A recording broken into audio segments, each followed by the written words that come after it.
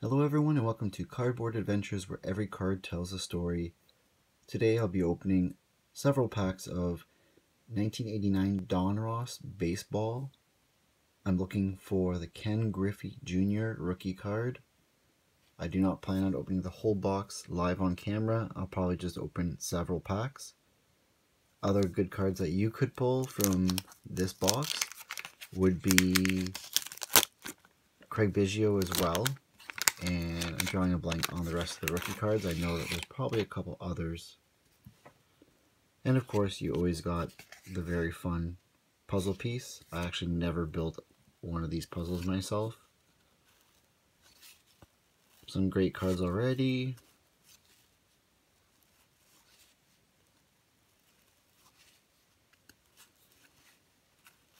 These cards certainly have a nice look to them with uh, the right colors on the borders. They are quite condition sensitive. There's a lot of whitening already on the corners and the edges. Even if the cards are coming out of the pack fresh.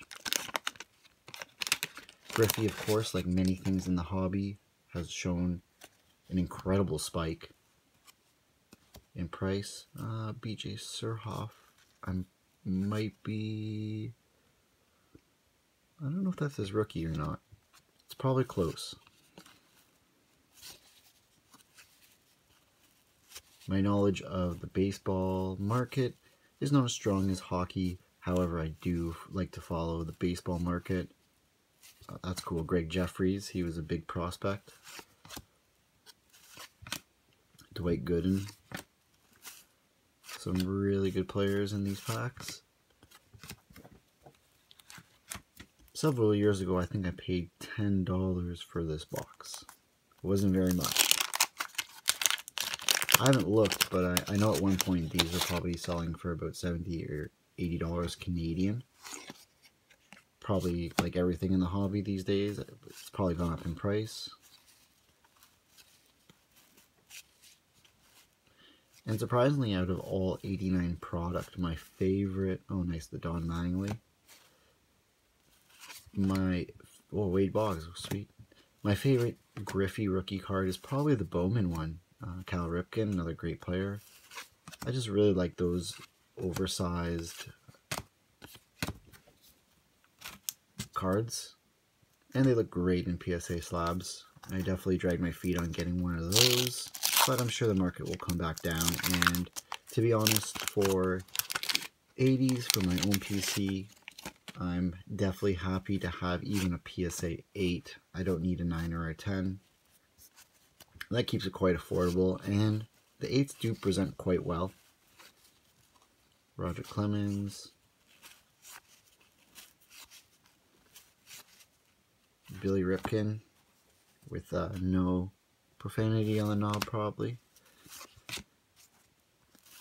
That's another great card, uh, the 89 Fleer FF. I'll not use profanity here, but um, the marked bat knob card.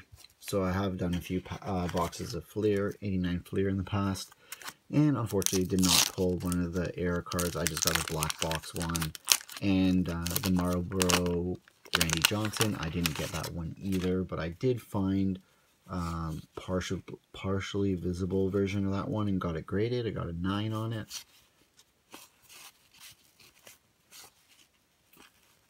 And I did pull one Griffey from my 89 Fleer. Erik Hanson.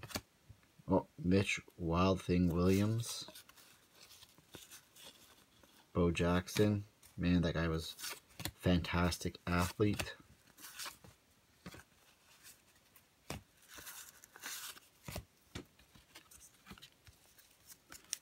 And I'm certainly surprised that these packs didn't feature gum, which is probably for the better because the gum just left an awful mess.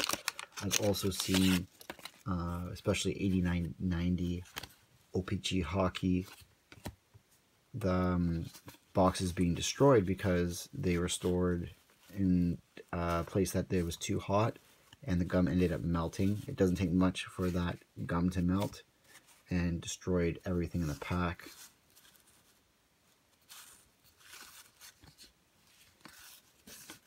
So we're cruising along here. Still no Griffey, but hopefully our luck will change.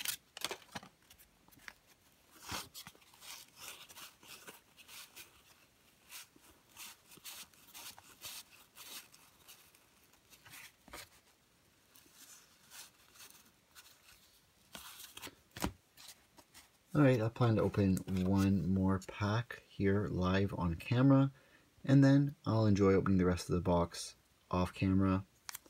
I just think there's something certain um, special about opening a box card, especially older ones. Wax prices have certainly gone up, and availability is definitely another challenge most of the time you just have to order it off eBay. So when I do open a box, which doesn't happen very often, I do like to enjoy it and take my time with it. I always feel disappointed when the opening is over.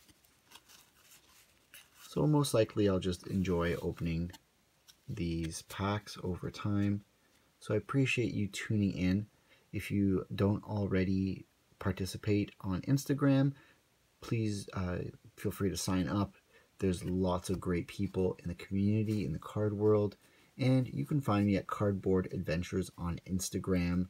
Uh, feel free to send a message if you have any questions about grading or just um, collecting in general. I'm more than happy to help, and I hope you all have an excellent day.